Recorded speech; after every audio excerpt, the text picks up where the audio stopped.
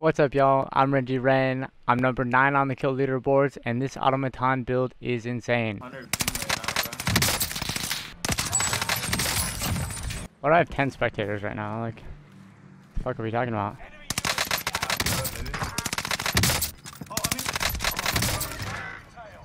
Give me comms for like 2 seconds please.